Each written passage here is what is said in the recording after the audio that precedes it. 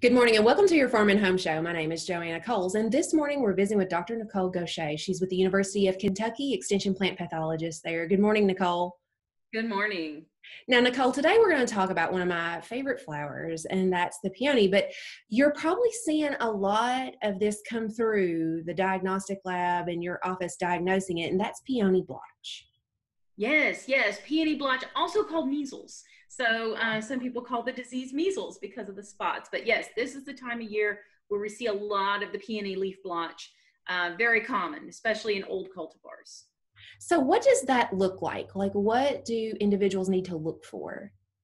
There is not much that uh, you really have to know because it is very obvious. So, um, kind of large uh, purple colored blotches, sometimes they're glossy, If you flip the leaf over, they might be brown on the underside. But so large, glossy purple blotches, usually on the margins of leaves, or at least initially, you'll see them on the margins of leaves.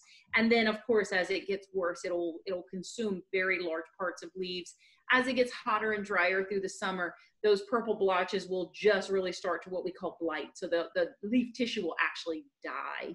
Um, you can also see it on stems, especially succulent stems you'll see it. Um, but in, a, a, stem, of course, it can't become round because of the shape of the stem. So it'll become more of an elongated uh, purple lesion on the uh, stems, especially the flower stems.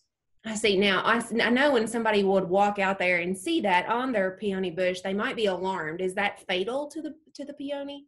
It is not. This is more of an aesthetic disease. Um, it can be really striking. Don't get me wrong and um, yeah, I have some varieties that are just it's downright ugly. Um, so it, it is not an attractive disease at all. And depending on the amount of susceptibility that we have in in the particular variety that you have in your garden, you'll see different levels of um, of disease.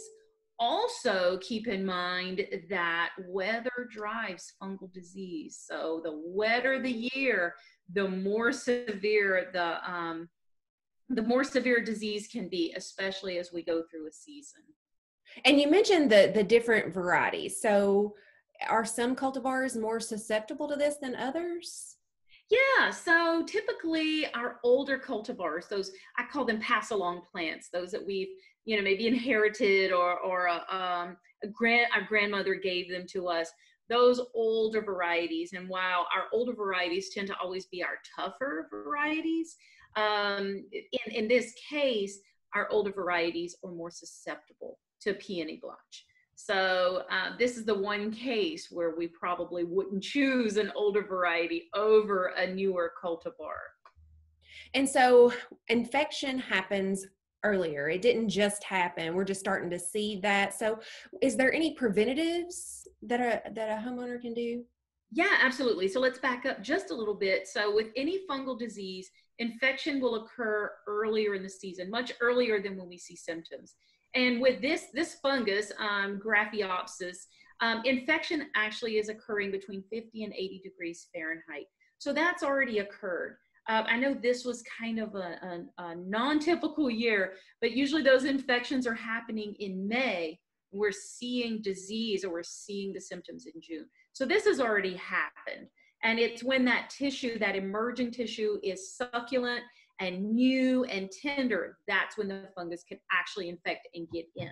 But that being said, think about how and when infection is occurring. Um, so number one, though, like we just said, resistant cultivars. Um, so that's the first thing that um, you're going to do, if, especially if you're planting a new garden, or even if you have a variety that's really susceptible to just trade it in.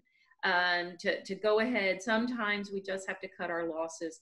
And as you purchase, you can look through descriptions and look for disease resistance as a descriptor. Secondly, back to that, that fungal life cycle, so fungi need moisture to infect and to complete their life cycle. So any way we can dry things out. Spring is very wet, of course, but if we increase air circulation, we're drying that canopy out much faster.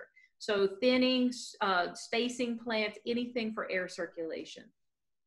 And then this time of year, if we want to try to help manage disease, we can prune out diseased tissue and then don't drop it to the ground. That's where the fungus will overwinter we can actually cut it out and haul it off. So I always say prune right into a wheelbarrow, prune right into a bucket and get it out of there because that way that debris on the ground won't be the source for overwintering.